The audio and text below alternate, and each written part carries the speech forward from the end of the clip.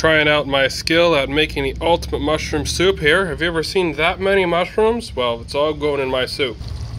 Right now we have the butter and the olive oil boiling with the leeks, or well, sauteing. And we've got the uh, alcohol-free white wine ready. Next thing that's going in is the garlic.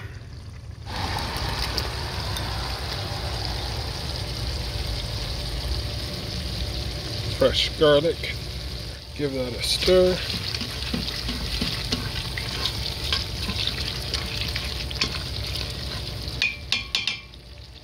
Got the chicken broth ready. Alright, we added the sea salt and the pepper. Now it's time to add all those mushrooms. It's gonna take a minute. A lot of them. These are old mushrooms. They got them on discount. I don't care if they're spotted.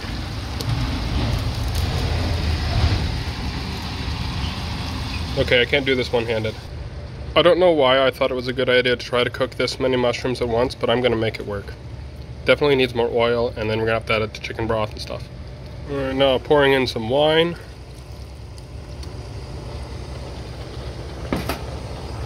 Well, I can hear it going in the bottom there, but I can't really reach it. Stir it. I should have maybe put that in sooner, but before all the mushrooms. But, oh well.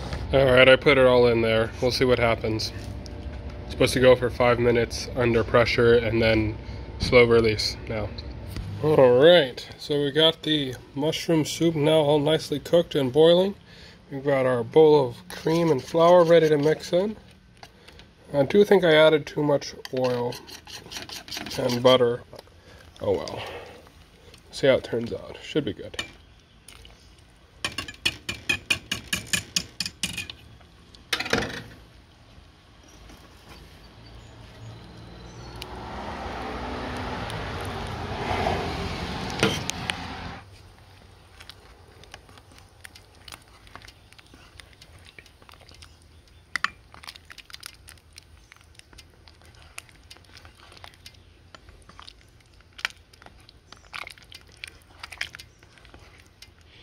I am not sure how this is going to turn out.